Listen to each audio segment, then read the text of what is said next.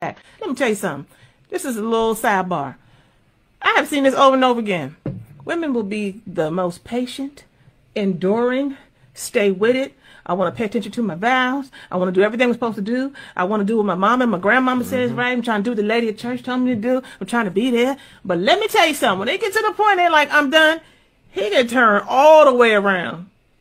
Just looking at you like, sorry. Mm-hmm.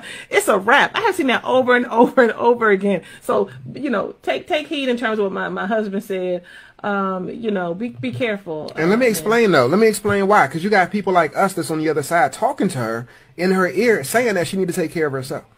Mm-hmm. Like after she's done A, B, C, D, E, F, and G, like we're we're talking to her, not literally, but you know, people like us, we're talking to her and making her aware that she has value, she has worth. She don't need to tolerate and stand for the stuff, some of the foolishness that you've been putting her through. Mm-hmm. And so I think that you're even doing yourself a disservice when you when you say that she woke up one day and said that she's checked out. She ain't wake up one day and say that. She's been saying that, mm-hmm. but you ain't been listening.